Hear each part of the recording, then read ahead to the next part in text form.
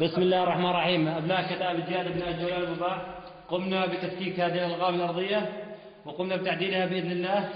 كانت لبشار الجحش وأصبحت لأبناء المجاهدين أبناء الجولان وأبناء درعا عموما. طبعا هذه الألغام كانت معدة للتفجير على الطرق الزراعية المؤدية إلى الأردن. وهذه العبوات الجديدة الحديثة بإذن الله سوف تقوم بتفجير عربات كي 82 بإذن الله. وهذه الصواريخ والقوارب بإذن الله سوف تراها بشار. كما قالوا لك انقلع عين كحش إحنا ابناء جرب نقول لك راح نخوزقك وجايينك نخوزقك تكبير! الله أكبر! تكبير! الله أكبر!